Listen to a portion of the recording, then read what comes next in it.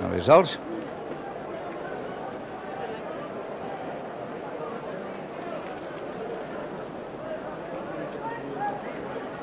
The 215 at Cheltenham won by Saxon Farm 12 to 1, 10th of October 40 to 1, and Alistair O'Mavris 10 to 1.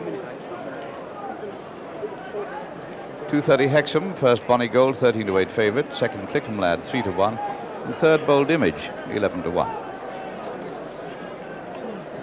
So there in the spots, Chinrulla, he's been here a few times, hasn't he? He's uh, ridden by the trainer's son, Kieran O'Toole, and they do tell me that this horse is working better than he's ever worked in his life. He's had various problems, he's been hobdayed, and he ran on two consecutive days uh, at the festival last time, second on both occasions. He has been a winner here of the Arkle Chase when he trotted up in the mud, and they tell me that he's been knocking spots off a couple of bumper winners recently. Be nice to see him come back, wouldn't it? There with the star, Colonel Heather just behind Chinrulla. Yellow colours and the star, Colonel Heather just gone out to the right.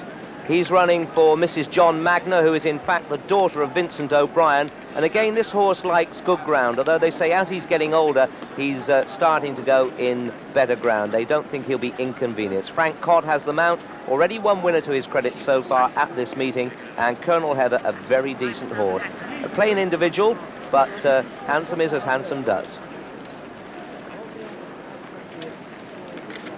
There was the behind him the other Irish runner just out to the left. This is Aha Clear, which uh, Peter says is Gaelic for Dublin, and uh, good sort. I liked him in the paddock. Willie Mullins is riding this one. He's a half brother to our Greenwood. You may remember that one running over here quite a few times. He in fact even carried Aidan O'Connell round Liverpool or halfway round before they both ended up rolling in the grass. This one uh, ran three times last season, winning once and finishing second and he's done very well. He obliged at Wexford in February, winning by five lengths from uh, King the sixth. Loves heavy ground. It may not quite be heavy enough for him, and stays forever, this one. And there's Lady Buttons in the cross belts. Lady Buttons, who is trained by Jill Sanderson. Well, this mare will not quite be good enough, I don't think, in this company. She really wants a lot faster ground. Nigel Tutty riding her, but she is a useful mare. Keep your eye on her because I think she'll be uh, obliging later on. But just look how big that pastry brush is going out to the right there. Massive horse. But it sounds as if uh, Dick Smalley calling him 50 there, 15 there is Rod Munro Wilson. Keep your eye on him. He'll give you some fun. Let's join Peter. Thank you, Richard. Yes, the white flag up. They're under orders. And they're away. Sparkford, the first to show with Old Tide Cottage the 15-year-old taking it up as they come now to the first of the 22 fences. Tide Cottage, and really taking him along too. Earl's Brig jumped it second, then Spark with the Drunken Duck and Lady Buttons, and behind them in Pastry Brush, they come to the second. Tide Cottage. From the Drunken Duck and Earl's Brig and Sparkford, and then comes Pastry Brush and Gale Warning, on their inside, Lady Buttons, and then Aha Clear, and Sub Rosa, and Eliogarty.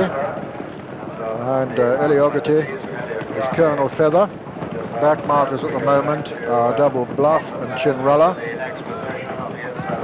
As Tide Cottage runs down to the next plain fence. The one before the water.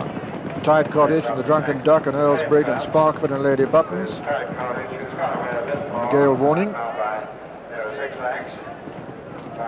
Pastry brush on the outside of gale warning. And Lady Buttons and Aha Clear and Eliogarty and Colonel Heather. And Sub Rosa and Compton Laird and Loyal Partner.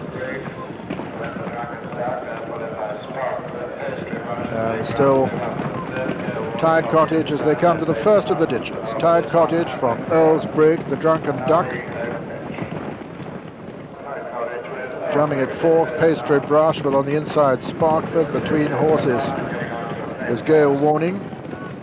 Coming to the sixth, Tide Cottage from Earl's Brig, then the Drunken Duck, then Sparkford on the inside, Pastry Brush, Aha Clear, Gale Warning, behind Gale Warning, Lady Buttons, then Eliogarty and Colonel Heather, and then Compton Laird. They come to the second ditch now. It's 15-year-old, Tide Cottage jumps it from Earl's Brig. Drunken Duck jumped it third, and they're all safely over that ditch with Yorkshire Mariner, the back marker. Race to a fence at the top of the hill now, the eighth of the 22. Tide Cottage jumps it clear. Earl's Brig, the Drunken Duck. They're all safely over that one. In fourth is Gale Warning. Just behind Gale Warning is Sparkford. And then Aha Clear and Pastry Brush and Compton Lad. And behind them Eliogarty and Lady Buttons and Chinrulla over the ninth Tide Cottage. Well clear over the ninth. Slight mistake there by Earl's Brig. Running down towards fence number 10. Tide Cottage clear of Earl's Brig, the Drunken Duck, Gale Warning, Pastry Brush, Compton Lad. Eliogarty and Aha Clear. Behind them, Lady Buttons. Then Sparkford.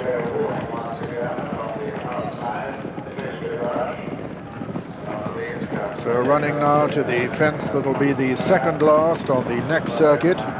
Number 11 this time. And Tide Cottage in the lead from Earl's Brig and the Drunken Duck. Then comes Gale Warning. Behind Gale Warning, Pastry Brush and Eliogarty. Then Chinrulla going well. Behind Chinrulla was Lady Buttons and Naha Clear. And then Colonel Heather and Compton Lad well in contention. And Pastry Brush a faller there and has brought down Lady Buttons. Pastry Brush a faller, brought down Lady Buttons, hampered Sub Rosa. Uh, Pastry Brush's riders up on her feet over the 12th, and it was Tide Cottage who led from Earl's Brig, Eliogarty, the Drunken Duck, behind them Gale Warning, then Compton Lad and Chinrulla, and then a little gap to Double Bluff and Colonel Heather, behind them. Aha Clear, behind Aha Clear is Loyal Partner, behind Loyal Partner is Sparkford, Sub Rosa and uh, Yorkshire Mariner, and both riders up all right, both horses uh, all right too, and uh, just continuing, one of them continuing riderless and the other going up to the top bend, and still old Tide Cottage coming down to number 13 in the lead from Earl's Brig, Eliogarty going strongly with Caroline Beasley, then the Drunken Duck, and then Chinrulla going well, Compton Lad on the inside. Uh, then comes uh, Gale Warning. Behind Gale Warning, getting a reminder there is Colonel Feather, and then Double Bluff on the inside over the water, and Tide Cottage from Earl's Brig, Eliogarty. Behind Eliogarty, Compton Laird, Drunken Duck, and Chinrulla. Behind them, Colonel Feather, Gale Warning, Colonel Heather, and then on the inside, uh, Double Bluff.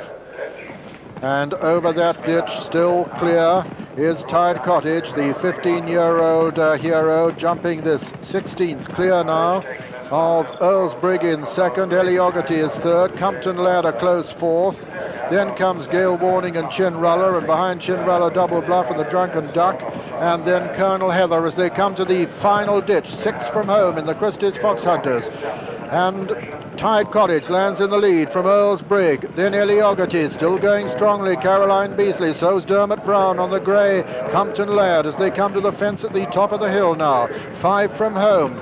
Tide Cottage lands in the lead from Earl's Brig, Eliogarty, Compton Lad, Gale Warning, Chinrulla, behind Chinrulla, Double Bluff, and then the Drunken Duck, and then comes Colonel Heather, running downhill now towards the next four left to jump in the Christie's Fox Hunters, and it's still Tide Cottage, but being pressed now by Eliogarty. Tide Cottage lands in the lead from Eliogarty second.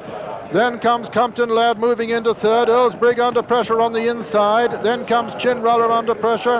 And then Gale Warning. It's still Tide Cottage as they come down now towards the third last fence in the Christie's Fox Hunters. The 15-year-old Tide Cottage being chased now by Eliogarty and Caroline Beasley as they race towards the home turn. Coming there strongly again is Earl's Brig. Then comes Compton Lad. They're racing round the home turn. Tide Cottage being joined by Eliogarty. Then Earl's And then comes Compton Laird into the home stretch. Two fences left to jump, but Caroline Beasley bidding for Cheltenham turf history, attempting to become the first lady to win at the festival. She comes to the second last on Eliogarty in the lead. Caroline Beasley is going to jump it in the lead.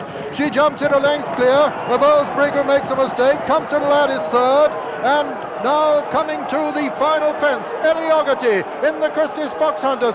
Four lengths clear of Earl's Brig and Compton Laird. Ellie jumps it clear. She's getting a tremendous reception already. Is striding up towards the line. She's being traced by Earl's Brig and Compton Laird. They'll never catch her.